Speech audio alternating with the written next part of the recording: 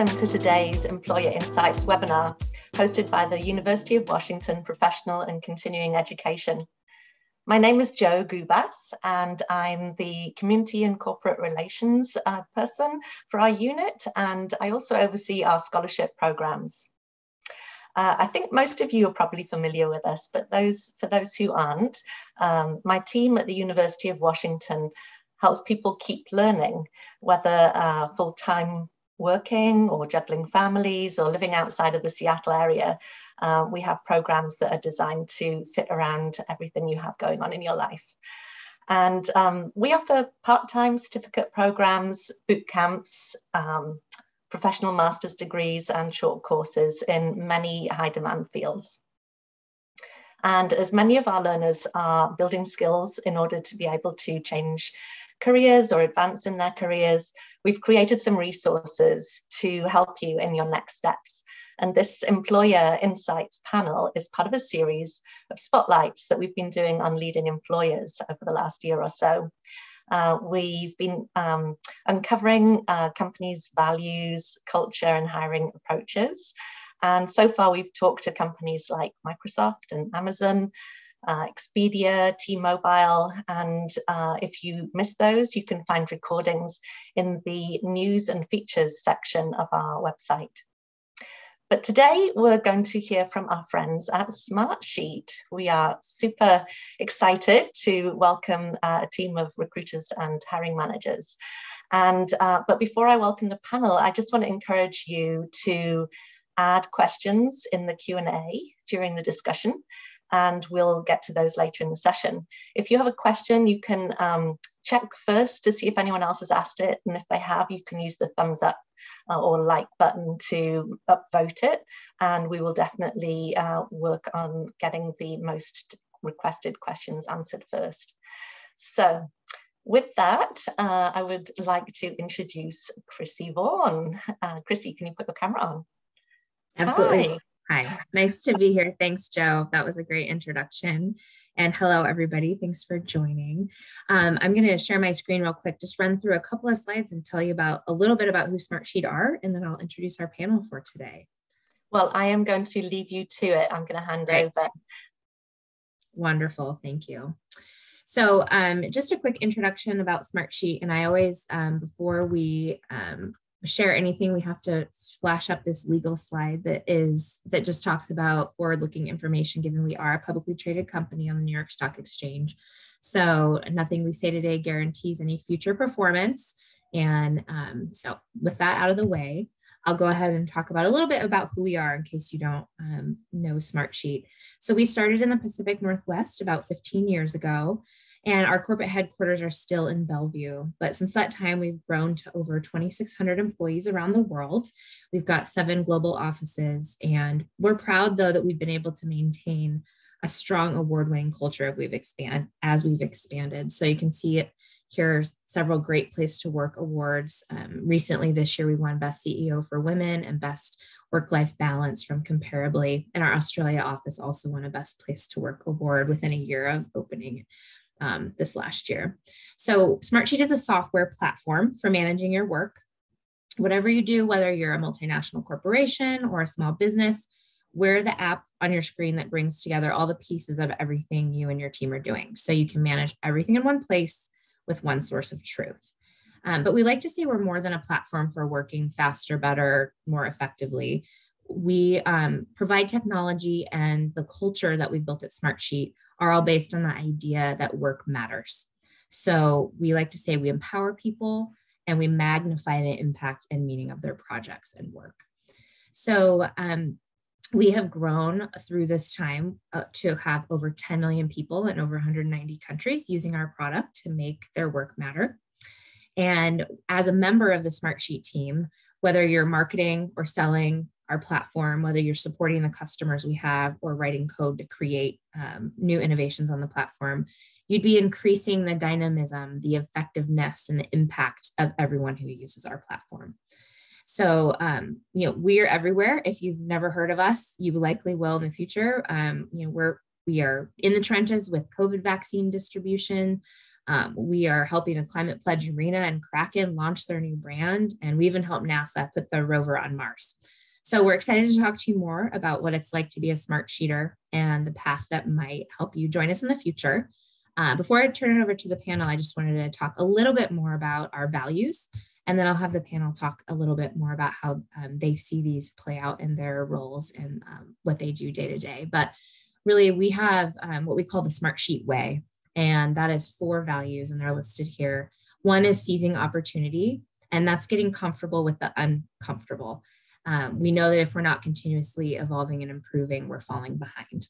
The second one is winning with integrity. So we love to win, but not at all costs. And I think that's really important that we um, we acknowledge that we strive to act with honesty and transparency in everything we do. Um, we also prior, prioritize the we before me. Teamwork is so important in our company culture, and really, it's at the heart of our mission for what we're trying to bring to our customers as well. And then the last is pursuing project progress. So we believe deeply that better, fair, and further is always possible. So we're always working toward how to empower not only individuals and business, but also um, being good citizens in society and helping, um, you know, further, further, um, further society's goals as well. So with that, I will um, introduce myself a little bit. I'm the director of public relations at Smartsheet. And I actually am involved with the UW program. Um, I'm on the advisory board for the content and storytelling continuing education program. I was also a student myself mid career. Um, I've had an untraditional career path and um, was proud to, to complete the editing certification um, a few many years ago, but it was a great program and I'm excited to be involved again. So, um, Sarah, I'd love to pass the mic to you to introduce yourself. Can you hear me okay? Sorry, having, of course, technical difficulties. Yes, we can. No, we can. Hi, Sarah. Hi, all. I'm Sarah Eldridge. Um, so I am one of our recruiters here on our growing recruiting team. I've been with Smartsheet now for just over three years. Uh, time has flown. And um, I have supported across various teams, but mainly working with our product and our UX organization at this point here and all of our hiring needs. And Sarah was the first face that I met at Smartsheet as well. She recruited me. So great to have you here, Sarah. Thank you. Um, Alicia, if you could introduce yourself. Hello, I am very new to Smartsheet. I've only been here since um, October, so I'm very, very new. I partner with Sarah. We work on the same team, which is fantastic. She's been amazing to get me up to speed on all things Smartsheet. Um, I support product and marketing. Um, new space for me. Historically, my background has been tech, um, but I'm absolutely loving it, and it's an amazing company. I'm super happy to be here. Awesome. Thanks, Alicia. Garvis, I'll ask you to introduce yourself. Yeah, absolutely. Uh, my name is Garvis Akins. Uh, I've been at Smartsheet now for uh, about almost six years. I'll have a work anniversary here in about a month. So uh, it's been a exciting, incredible, wild ride. Um, I support uh, multiple teams here at Smartsheet uh, doing product development. Um, and yeah, excited to, to, be here. I'm also kind of a, a non-traditionalist, so tell you about more of that later. Awesome, thanks. And last but very not least, Nate, if you could introduce yourself. Yeah, absolutely. So I'm Nate. I, I work in data. I'm on our BI operations team. Um, I went to UW, so I'm, I'm local. I live uh, a little north of Seattle now. So um, really, really love the university. Excited to talk. But um, I've been at Smartsheet four and a half years now. The employee count was underneath 600 when I joined. Not quite as small as Garvis, but um, certainly um, seen, seen the growth here and seen the maturity of the data team. So I'm excited to share a bit about that and what a data career looks like. Awesome. Awesome. Okay. Well, I'm going to stop sharing so we can get a better view of our panelists. And then I'll just kind of launch into some questions and then we'll leave time at the end for those of you who are listening to ask your questions as well. So um, getting started, Nate, I'm going to start with you just because you just talked about your um, your path from UW and the fact that you've been at Smartsheet a long time. Can you tell us a little bit about your career path? Um, what led you to Smartsheet, your current role, you know, anything you learned along the way, or, you know, I don't know, maybe did differently and would have done differently in hindsight? Yeah, I'll give like the, the two minute summary. So at UW, I studied, uh, I got a dual degree in, in, economics and international studies. I was actually working to um, go live abroad. I did internships abroad, was going to go work in international economic development in developing countries, is what I studied. Um, learned Spanish. Like I, I, did the whole rigmarole, um, and that kind of fell through um, a couple years after graduating. So I was sitting in a customer support job, wasn't really sure what kind of career I wanted. Figured out data as a thing. I was doing it kind of by accident. What I've learned is you can do data in almost any job, and that's typically how we pivot into that career. Almost anyone in data will talk about some random place they were in to get into data. So um, I eventually found a company up here in Everett to, to take a chance on me um, after you know doing some data projects at, at, I was at Rosetta Stone, did some stuff there, and then a company called Funko. If you know the Funko Pops, the collectible um, figurines. So I, I, found myself as the first data person there, and it was totally it was crazy getting thrown into the deep end of a swimming pool essentially. Um, so I, I, learned how to get how you know there's a lot of tough pieces about being a data analyst and, and working in databases. Um, so really cut my teeth at Funko, and then came to Smartsheet pretty shortly after that um, focusing both in the analytics side, so you know, getting dashboards and reports out to stakeholders across Smartsheet and other companies. Um, and I've now pivoted into something new called analytics engineering, which um, is a new piece of the career, which is making data clean and nice for people to use. Um, surprisingly, you can make a career out of just making data very clean. So um, found myself there in the last year or so, and that's where I am now. I love it. Thank you. Um, I'm going to pop around a little bit. Sarah, how about you? Tell us a little bit about your career path and what got you to Smartsheet. Yeah, definitely. So I actually started my career in uh, customer service uh, with a healthcare company. And so kind of, you know, grew up in the ranks there for a year before landing into an agency um, role where I was supporting various recruiting efforts for a lot of the local companies. So I am local here as well. Um, and supporting roles across like Microsoft and Amazon and then an opportunity came up at Smartsheet. And with the growth that the company was having, with it being a local company that had a lot of you know, growth opportunities ahead of them, I applied and have been here for the last three years and have loved every chaotic second of it. And I'm sure Garvis can speak to his growth here and seeing it. But I think when I joined, I was eight, employee 800 and something, and we have now over 2,600 individuals across you know global locations now. So it's been really exciting um, and fun and challenging at the same time. Awesome. That's a good segue to you, Garvis. Yeah, absolutely.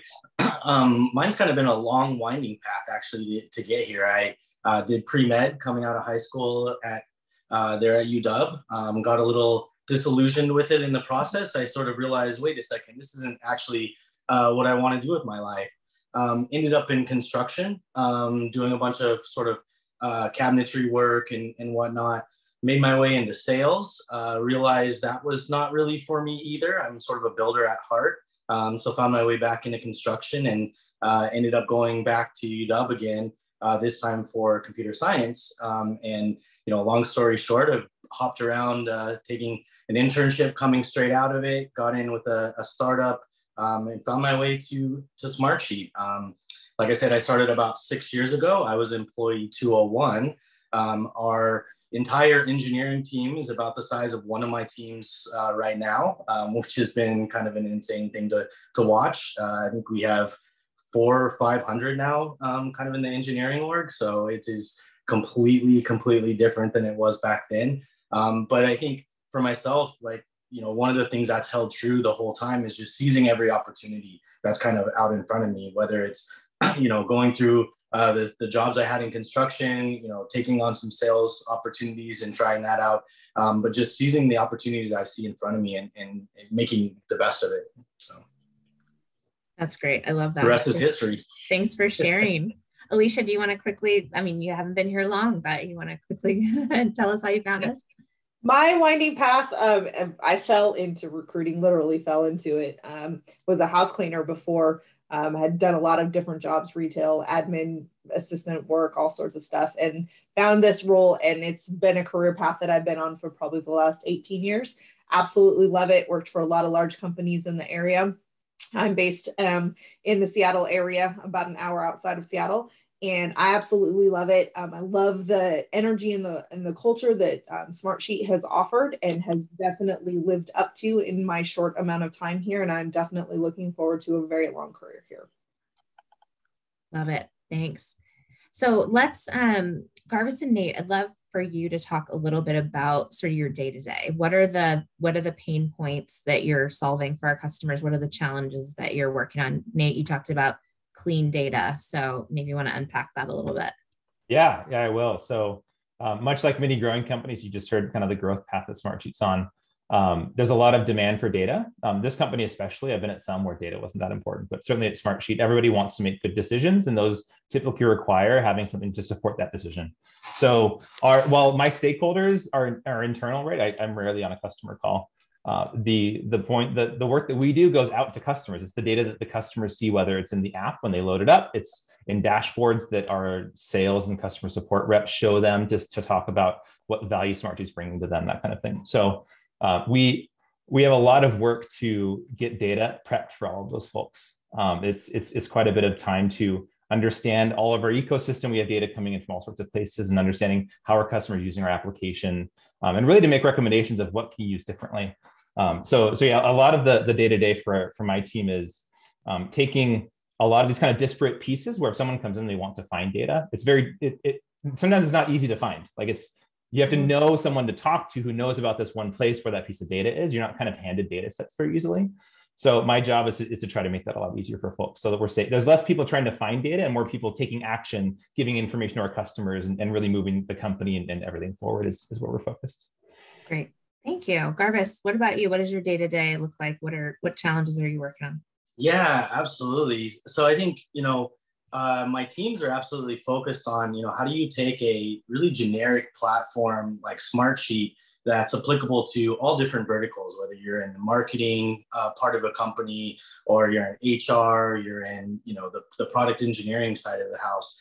Um, and how do you make it so that, you know, you can bring that to each one of those phases and, and, and make it so it's easily uh, to get in, uh, build what you need to, um, and produce the value that you're looking for. You know, we talk about going from zero to hero, right? A lot of people come in and they start using Smartsheet because they're trying to solve a problem. And, and we want to make them the hero as quickly as possible so that they can take this back and use it within their business. But I think for myself, one of the, the day-to-day aspects that I'm extremely excited about uh, being a part of is, is actually career growth. Um, you know, in a lot of places, uh, career growth is really about you know, how much does my boss like me? Um, you know, do do they do they like me enough where I'm going to get a promotion and a raise? And you know, that's a that's a problem for us. Uh, we don't operate like that. Um, and so, you know, we want to make sure that that you know it's not a buddy buddy type system, um, but instead is a place where you know we're we're looking at the characteristics of the people um, and the the value that they're bringing to the company as a whole. And so, you know, one of the first things that we went in and tackled was getting a really clear role guide put together. Um, and it's not based on uh, quantitative uh, characteristics about lines of code that you've written or bugs that you've, uh, you know, addressed, but it's really uh, qualitative based, uh, clear behavior based um, assessments of, you know, what is this person doing? How do they behave?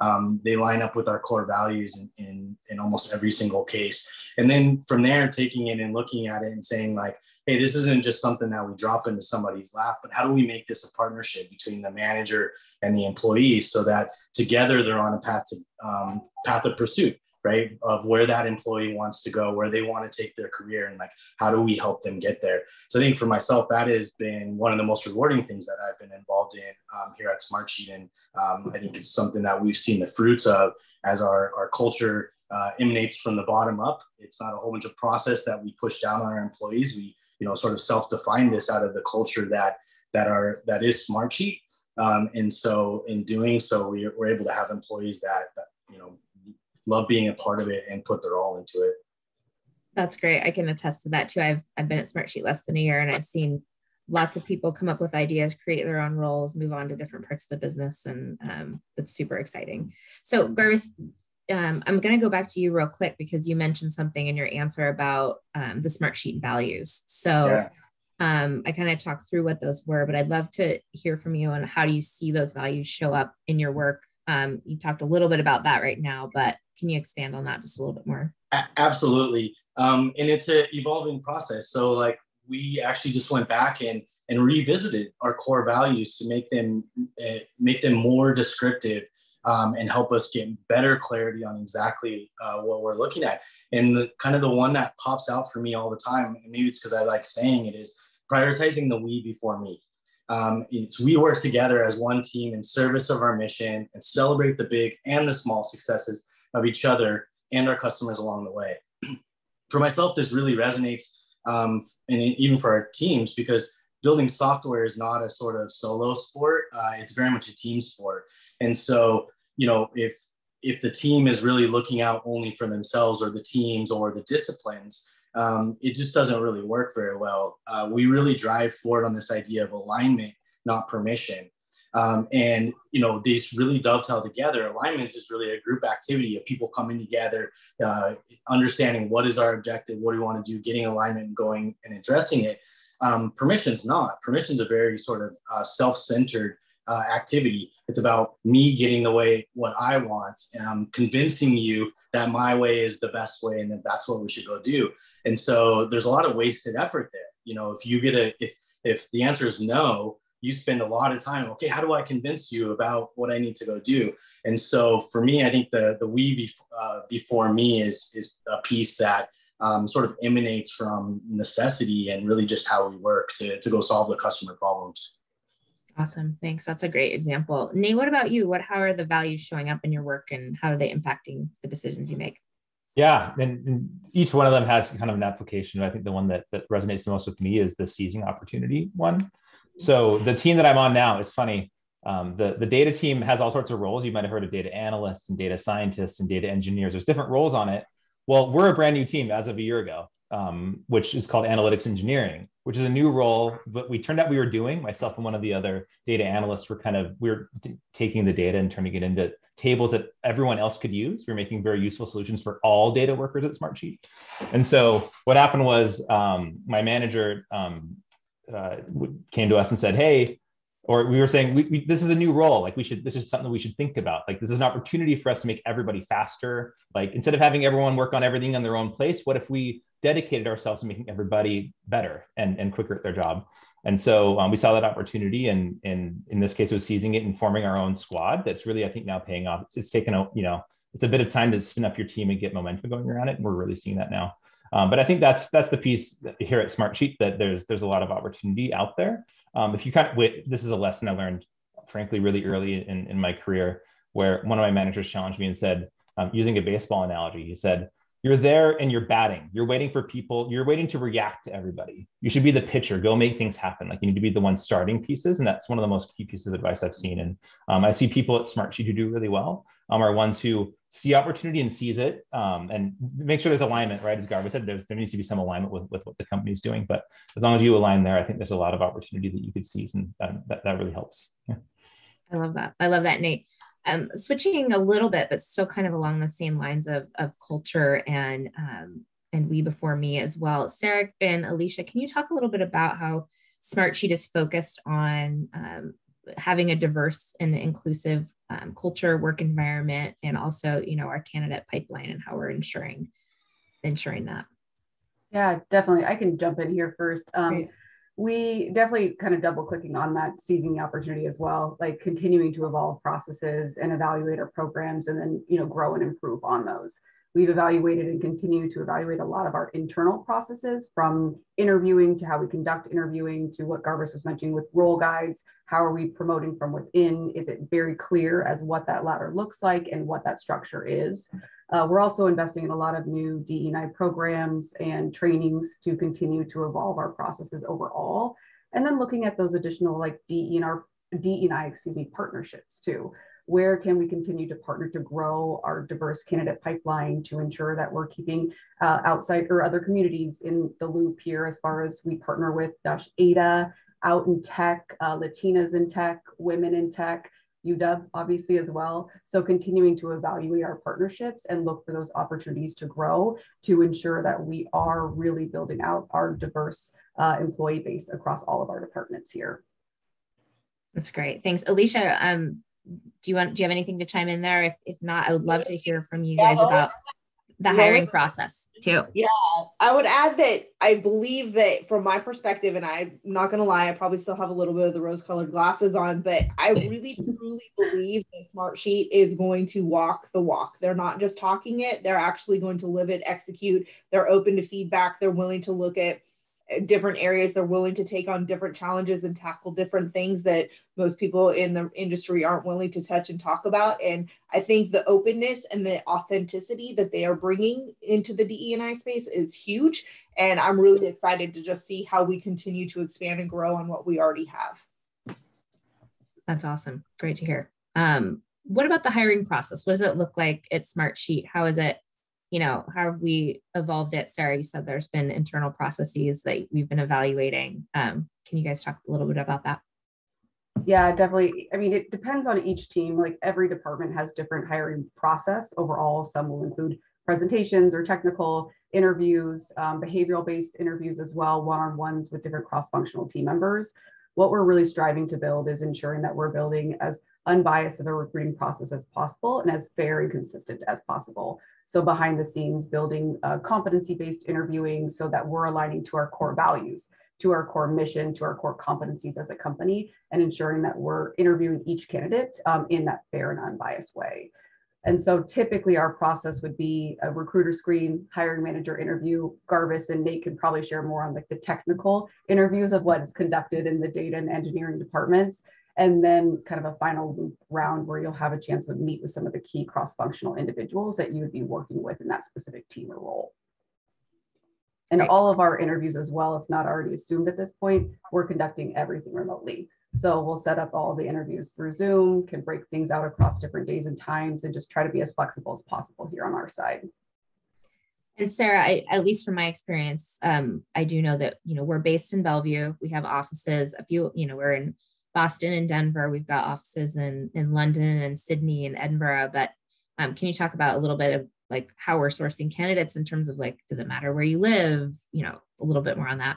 Yeah, definitely. We are really opening the door and have always had flexibility, but in this new environment that we're in, definitely looking to hire um, globally. Uh, there are some dependencies on the team of if it needs to be a US based role or if it can be um, an uh, you know outside country role, but those are really the limitations. We are expanding our searches and our recruiting uh, to break out across all of any location globally that you can think of, not just our current headquarters.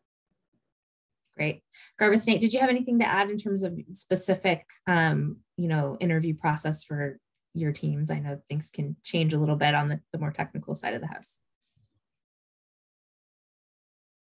Go I can speak to yeah, yeah. I'll speak really quickly. At least for the for data teams, this is interesting. Um, I've interviewed at various data roles over the years, and it's funny. Most folks think of it as a technical role. Um, data engineering perhaps is, but what's what's interesting in the data world is collectively we've figured out that really good data workers aren't necessarily technical. There's some pieces to it. There's some you use language called SQL to, to talk to a database, um, not the hardest language to learn, frankly. Um, and I think we've, we've slowly learned that screening for technical ability um, misses out on some really, really good candidates who just haven't had a chance to necessarily use a language um, like, like SQL. So focusing, it's funny, interview loops have now become much less, let's get you screen technically, let's give you an assignment, make sure you can really you know, like execute on some kind of data analysis. And it's much more, are you curious? Do you ask lots and lots of questions? um, do you you know do you bring some really interesting background to, to questions or a different perspective the team doesn't have trying to bring in some of that so um, at least with our interviews it's actually changed i've seen it even change over the last few years um, as we realize that the, the real kind of value is finding really curious interested um, smart people um, so that's that's at least one change i've seen on, on our interview side Garvis, anything else to add on that front yeah, I just kind of like to second that. I mean, you know, it's been an ever evolving, changing world. Um, you know, when I first got started, the the technical, the interviews were extremely technical. You went in and whiteboarded for you know three, four hours, and that was it. Um, now that's not the case. You know, now we're looking at uh, a lot of different a- aspects. You know, as, you know, we we interview against our core values. Does this person match up with the the culture that's at Smartsheet? um, you know, for us, it's very, very important to make sure that we're hiring individuals that'll help continue that culture and, and help demonstrate that in, in their day-to-day behavior. Um, and so for us, that's one of the key aspects of it. Um, not just, you know, can you write some code? Can you put a design together? I think there's, for us, there's also been an interesting uh, piece that's been now sort of dropped in our lap, which is how do you do all of the traditional whiteboarding activities um, online? Um, how do you do design? You know, um, there's definitely some awesome tools that allow us to do you know, coding exercises, um, which I think is even easier now uh, than it was when you had a whiteboard because you had to sort of remember the pieces and most of the tools are actually um, matching with the languages um, but there's definitely a lot of pieces of how do we kind of a, adapt and adjust to to this new world where um, you know people are working from home and and we're you know for the most part a remote by default uh, engineering org uh, where people work from from where they are. So uh, you know to be continued. Uh, i think it's an ever evolving process. We always want to get to the to a better place right? It's uh, you know one of our core values. And so uh, we try to do it at, at every aspect. Great. Awesome um, I'd love to go a little bit deeper on the the untraditional career path discussion because I know a lot of, at least from my experience working with the the UW continuing education program, there's a lot of students who are coming in and potentially um, kind of using it as a skills boot camp to pivot in their career. So um, I'd actually like to hear from our hiring managers and our recruiters both because I think there's there's aspects of you know nate and garvis what you're experiencing from people on your team or potentially that you're looking to hire. But then sarah i think and and alicia what you're seeing from the candidate pool and what makes people stand out and how they can be successful in um, how they're applying if they might be quote unquote an untraditional candidate. And i've been in that role myself so i definitely you know can put myself in those shoes. So um, uh, Garvis, let's start with you um, on that front. I know it, sounds like you yourself had an untraditional path, but how have you seen people, you know, be successful, especially when they're kind of trying to get their foot in the door at Smartsheet? Yeah, absolutely. Uh, you know, I myself started out with an untraditional uh, kind of path to get here. Um, you know, I went back and, and got a comp sci degree at UW. Um, and the, for myself, the first thing I did was just took whatever opportunity came my way. Um, you know, it's about in many cases getting the experience um, that'll get you to where that where you want to go. And and I can definitely say where I thought I was headed is not where I ended ended up. Um, so getting that started and, and understanding what the landscape looks like and going over those, I think uh, for myself, I've had multiple um, uh, people on my teams that have had an untraditional path as well. Um, I had. Uh, um, a, a, lady who was a structural engineer um, prior to this, uh, worked on uh, airplanes actually. Um, went back, got a certificate at UW, um, and is actually one of the top performers on on one of my teams now. Um, and I think the the key pieces that you know she emanates all over the place is is very much the the curiosity mindset of um, hey, I want to learn more. Um, you know, collaborativeness uh, is incredibly important. Um, and really, you know, it's this idea of like, I don't do this alone. You know, she is somebody who comes in uh, to every single activity and is excited to work with other people and learn from them and um, and and sees those opportunities. Um, you know, I think a lot of times people are worried about uh, you know what others are going to think about them or that you know they might not succeed at every step um, but really, you know, seizing opportunity isn't about succeeding at every step. It's about taking every opportunity um, and being comfortable with the uncomfortable. Um, you know, if we're not continually evolving and improving, um, we're never going to get to where we want to. And that only typically comes in, you know, successes and failures. Um, and so I think those are the things that I see uh, coming out of those uh, those individuals who have the non-traditional path. They are, you know, trying everything out and they're they're succeeding. Um, you know, as much as they're failing in many cases, but that's how they got to where they are. That's great. Awesome. Thank you. Alicia, I'm going to ask you to, to chime in here, knowing that you're newer, but it sounds like you also had an untraditional path to get here. Can you talk a little bit more um, either about your own story or what you're seeing so far from Smartsheet in terms of, you know, people getting in the door and how they can best sell themselves? Yeah, fair enough. I think for me, I started out, um, graduated from high school, went into college for like half a minute and thought, I have no freaking clue what I want to do. So I'm out and went and just got a job, went out into the workforce, bounced around, did a lot of different things, and then uh, fell into recruiting, literally fell into it. And I've loved it. Like it is a thing that like people ask me, what do you want to do? And I'm like, I'm in my job. I love it. It's great. It's amazing. Um, a few years ago, I went back to school and actually finished my degree and graduated um, in 2020 and it was a huge accomplishment for me. I was super happy to do it. Um, stayed in the same space just wanted to kind of expand my knowledge and, and kind of check a box for myself. Um, but as far as like trying something different and and going into a different career path i think the big thing from my perspective is being willing to one sees all of the opportunities. And the opportunity might be that you have a lot of industry experience but not a lot of experience in the space that you want to go into. You might need to go backwards to go forwards. And it's really okay to do that if you're comfortable with taking that opportunity and taking advantage of that and so if you don't have industry experience in the spaces that you're applying to, but you've got the education or the certificate or whatever, look for the, the roles that have the zero to two years of experience listed in the job description. That's the way you're going to get your foot in the door, even though you have a resume that's got, you know, five or 10 years of experience in a specific specific area you might want to kind of open that up and the other thing is is at the top of your resume talk about I have a lot of experience, but I don't have experience in this space, but this is where I want to be and what I want to do. And this is the reason why I want to be there. I want to talk to people like that. And I would rather give, have that knowledge and that information when I'm looking at a resume that that's going to get through the gateway to get to a manager that they're going to say, oh my goodness, this person's amazing. And they're curious and they want to try something different. I want to talk to you. I want to get on the phone and I want to learn about your experience and your background. And so for me, when I see that, that gets me super pumped up and excited. Awesome. Thank you. Sarah, anything else to add? I would double down on that, you know, be honest and open with the skills that you have, with the experience that you have, but highlight why you're trying to make that transition, what relatable skills that you have, or how your, you know, current or previous experience can translate into that. And, um, you know, really just build out your resume with professional accomplishments, excuse me, use data metrics to kind of highlight this is the successes you have had that could translate into this role you're applying for. Great. Nate, anything else to add from your experience? Yeah, no, I'll add this at least from a, from a data perspective for those curious in that part of the world. Um, slightly different than a little bit of the advice here. So in data, the superpower, I mentioned this a bit earlier, isn't how skilled you are at languages and technical ability or even a visualization tool. The superpower for many people is their, their knowledge of an industry or a domain. I'm good at sales. I'm good at finance. I'm good at marketing. I have, you know, some years of experience in that. Really good analysts, I should say analysts only become good when they have great domain knowledge. That's really where an analyst goes from being kind of average to being great.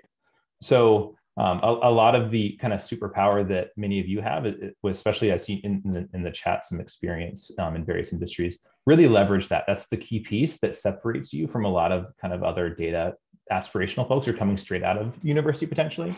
Um, there's options certainly for folks who are coming straight out, but um, a lot of the, the the challenge of data is that essentially everyone's from a background that's not necessarily starting in data um, the, the piece I'll caution you is if you look up advice and say, how do I get into data science, data analytics, the advice on the internet is go and work on various projects just online, kind of one-off things. And I think that's not necessarily the best way to go. I think that's actually pretty bad advice. Hiring managers, I don't think necessarily value that. Um, really where most of us come in is get a job that um, that is in your industry that you know and take that data knowledge you have now, so whatever kind of experience or kind of drive you have to do that, and apply. I guarantee there's data problems in whatever job that is, in a finance job, in a marketing job, in an operations job. In I came from sales CS, so in sales, guaranteed there's data needs there. So um, the, the advice really is to um, not narrow to I need to find a data job with data in the title. It's really almost everyone that I know is in it started um, you know, got some industry experience and worked up from there in a role that was unrelated. You can find data work really anywhere. There's there's a lot of demand for it. Awesome. Thanks. Got one more minute. Sarah, I'm going to pop a bonus question to you. When a candidate asks you what makes Smartsheet unique and different, how do you answer? That's a great question. I always default to the people. I love our collaborative and supportive environment. I get to work across different departments with different people who are truly supportive, who want to partner together, who want to help us continue to build and scale Smartsheet in the best way possible. So for me, in my interview process, in my three years of being here, it's the people like you, Chrissy, I will say, uh, who really keep me excited and I'm really loving working here overall. Awesome. Thank you. Okay, so I think that's our time for the um, the set Q&A that I have. Jo, would love you to kind of let us know yeah. what's going on in the chat and what, what we could help answer.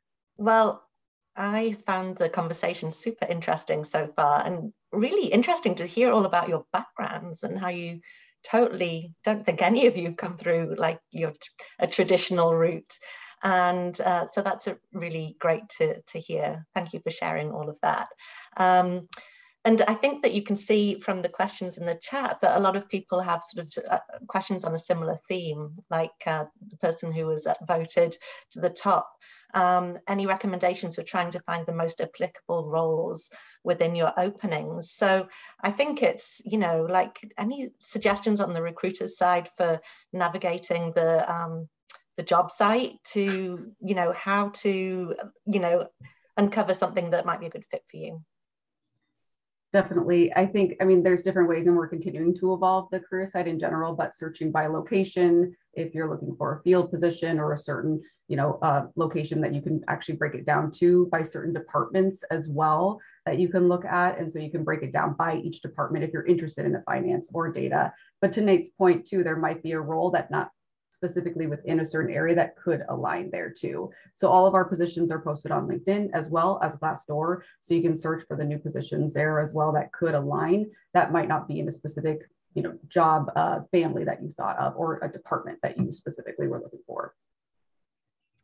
Yeah, so just really need to spend some time on that site, kind of looking through in, in more detail. Mm-hmm. Do you um, do you find that people reach out for informational meetings? Like, do you have a lot of do a lot of people from Smartsheet get pinged on LinkedIn for informationals? Um, yes. Feel free to jump in, anyone. I do, and I when I was looking to be a candidate at Smartsheet, I also reached out to people in my network for informational interviews, and absolutely, I've I've done a lot of that. Garvis, Nate, I or Nate, I see you saying yes with your head, so absolutely. Yeah, I think that's that's one of the things that I noticed too. And in, in you know, for on the engineering side, uh, each team is solving you know slightly different problems and focused at different customer areas. Um, but we're not going to post up you know 5,000 different unique um, uh, job postings, and so we kind of go for the the middle of the road. So I think one of the key pieces is maybe not trying to find the exact one that has the you know perfect language that matches everything uh, that you have to offer, but really um, starting that conversation. You know, getting uh, a, a, a, resume submitted into that, having a conversation with the recruiter where they can help you um, find out that space and, and the managers to talk to, and um, you know, really getting that conversation going is probably a, a key piece as well.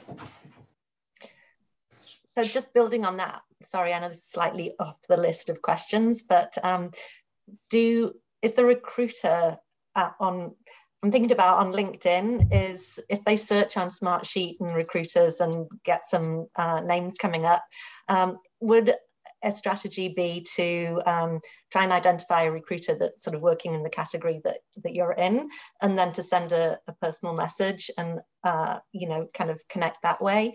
Do your recruiters like to work like that or is there a better way?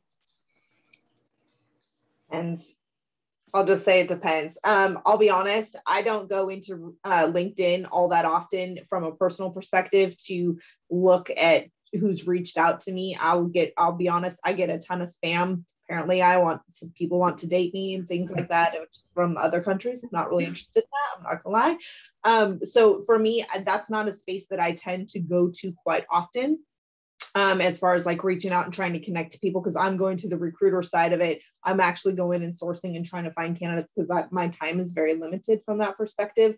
Um, you can always attempt to do it because you might get a snowball's chance in Florida. When I clicked on and actually went through and I read something and all of that, but I'll just be totally honest, it's not a space that I tend to to spend a lot of time in. Um, so it might be a little bit more challenging. Probably the best way is to find the role that's really aligns. And I would say speaking to Garvis's point, if there's a little bit of interest and you feel that you've got a few of the things that align from a skills perspective, apply to the position. I'd rather look at you and say, ooh, there might be a match here. And I'd rather spend some time actually chatting with you, even if it's not a perfect match, um, than for you to not apply and potentially miss out on an opportunity. Because I might be able to share you out with another person on my team or with a different person in the organization that has a role that aligns better and things along those lines. So it's better for you to actually just send out your resume. If you want to spend a few minutes, you're going to get my attention if you change the top of it just to say, hey, this is the reason why I applied to this role. I'm really interested in X, Y, and Z. That's going to set the tone for the conversation as well. So, those would just be some things from my perspective. Feel free to reach out on LinkedIn. I just don't know, especially if you connect with me. I don't know how far you'll get very quickly. So. That's super helpful. Um, so next question, and there are a couple of these around um, the remote uh, remote working and whether you're being you know whether the roles that are based in a particular location like bellevue for instance are you do you really still want to just recruit people who live within a driving distance of bellevue or are, how do you manage the thing of um, remote positions it is, yeah, I'll, I'll jump in. It is role dependent. There are teams where they do still have preferences of being in certain locations or time zones.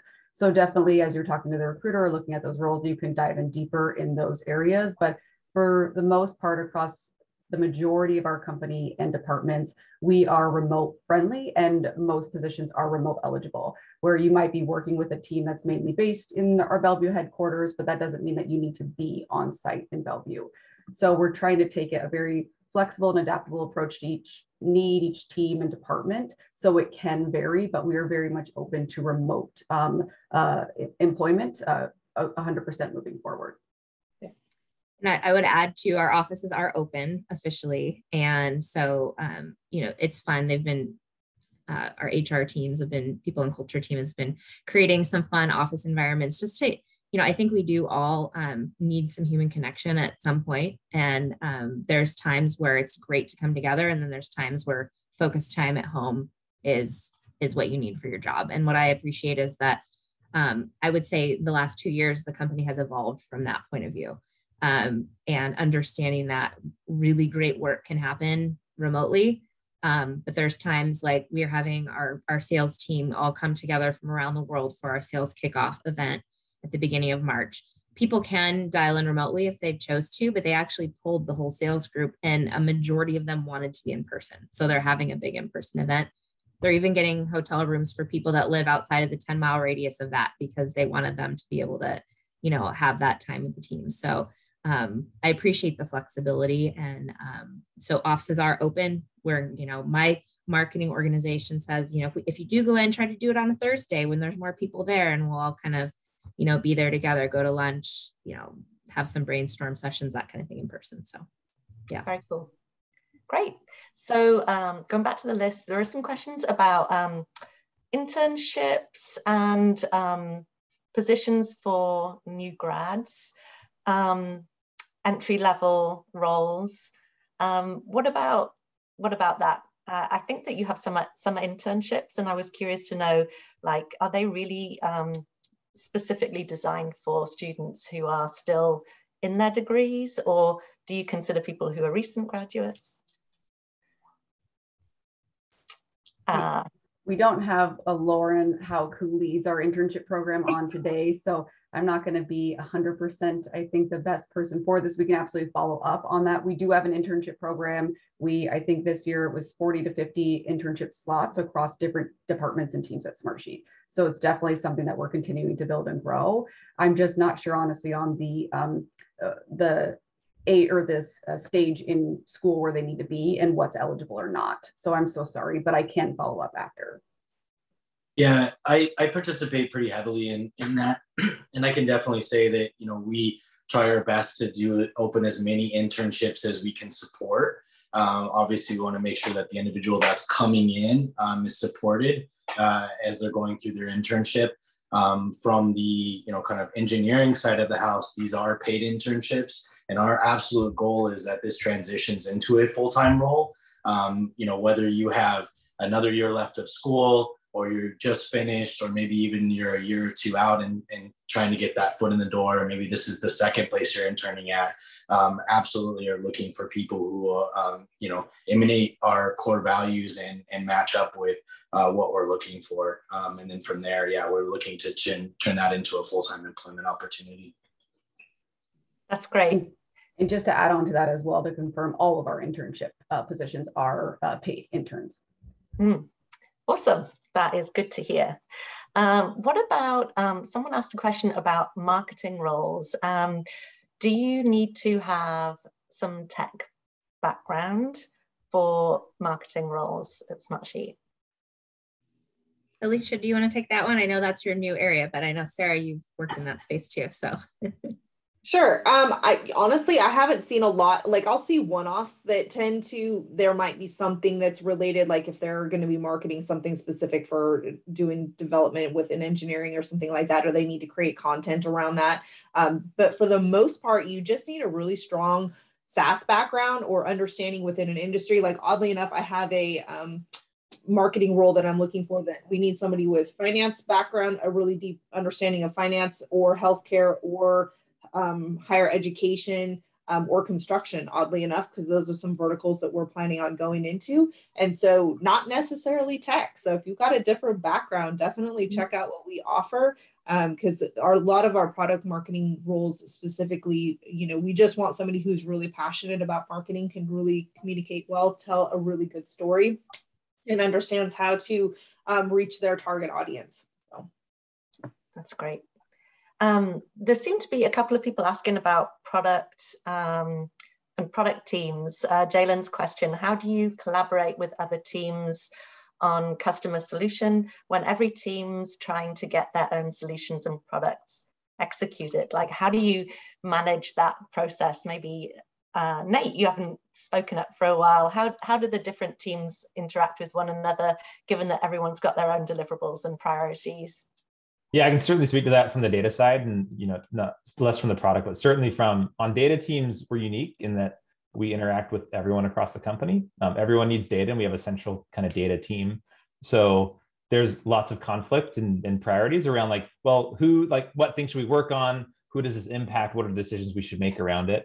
Um, and, and a lot of it really comes down to judging what the business value of it will be. Like, is there is there a way we can, we're data people, right? So we're trying to quantify, is there a way we can quantify time savings? Is there a way we can quantify, like, will this help customers, you know, buy products a little easier or have something they really want? So, um, like the product team might be looking at different um, features they want to roll out. Well, can we get some metrics around our ones? Do ones seem to have more momentum behind them if there's kind of an experiment going around them? So, um, for us, really, it's, it's trying to find some way to measure um, the impact of a decision. And if we can't do that, then really it's you know us offering some data to teams and and doing what we can to prioritize across what you know we then judge as, as being high value across the company. Um, but I think that's really kind of where the focus is for us.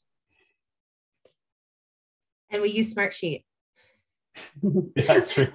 our, our platform is is intended to break down silos and help with with cross team and cross enterprise collaboration. So we do walk our talk. We mm-hmm. actually have a company um, objective this year to, or I think it might be a marketing team objective of, of Smartsheet on Smartsheet to become our own best customer from a from a marketing perspective because that's a big audience that we're trying to market to. So um, it is it is a tool that is awesome for that. Yeah, I use it too.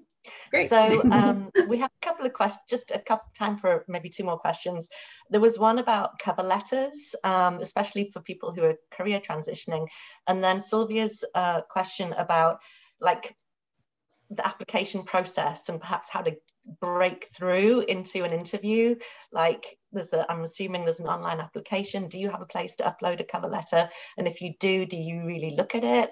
And um, how much weight do you put on it? And then um, you know like how do you shortlist the people and screen for people to be able to get through to the um, the sort of next round Sarah, you have to say you read my cover letter, so I'm going to let you answer this question. Yes, yes, I did. cover letters are, are typically not required.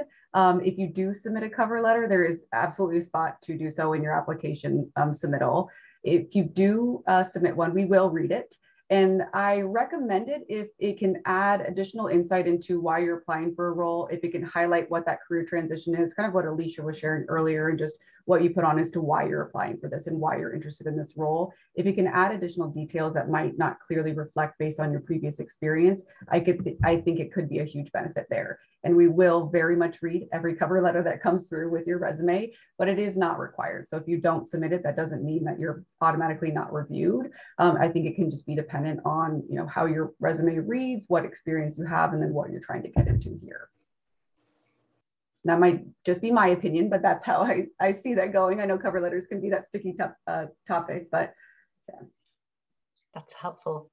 Um, okay, Sean's question about his particular situation, lots and lots of years doing uh, as a product project and quality co uh, control coordinator working in UX. Um, do you have any thoughts on the kinds of roles that might be a good fit? I think that's a very specific question. And if you don't want to get into that, that's totally fine. But if anyone feels like they want to jump in. I can add a quick piece because I support our UX hiring. Uh, we actually are building out a UX team specifically within our customer experience in UX. So someone who's had that exposure, has worked within the UX environment, but looking for more of a project or program management role, we could definitely have a fit in there. We also have um, kind of project managers or, or product operations uh, positions as well within our larger product org that will collaborate with UX, but kind of manage programs and processes for the larger engineering and product org um, as well. So we definitely could have opportunities that align there. Wonderful. Well, I think we really have unfortunately got to the end of our question time, but I just want to see if there's anything that any would, anyone would like to add, anyone has any comments or thoughts or um, last suggestions for our audience thinking about your experience at Smartsheet? I would just add that we have obviously had explosive growth as far as employees in the last year, and um, we are planning to do the same in the coming year. So, um, you know, we're excited for the opportunity to talk about Smartsheet because we're growing and we want great people to join us. So, hopefully, um, everybody's been able to hear the passion and um, excitement that we have for our individual roles, but then also, you know, the work we're doing together. And um, so we're excited to hear from you and um, feel yeah. free to at least, you know, hit, follow me on LinkedIn or, or, send me a message if you have a specific question that we couldn't answer. Um, and I'm sure everyone else here would say the same, but very good. Thank you. So thoughts, team? I um, just want to say that um, we're going to be sending out the recording of this to all of the people that are RSVP'd. And if it's okay, we'll include um, the emails of any recruiters that would like to be uh, connected with um, for, uh, for, for the people that attended. So thank you so much for spending your Thursday lunchtime with us we really appreciate the time and um, I really enjoyed hearing all about what it's like to work at Smartsheet and all the great opportunities that you have coming. So um, thank you, Chrissy, for organising and leading and thank you everyone for participating and, and giving our learners a really great, um, uh, really great insights today. Great, Thank thanks, you. Jo. Thank you. Bye, everybody. Thank you for coming.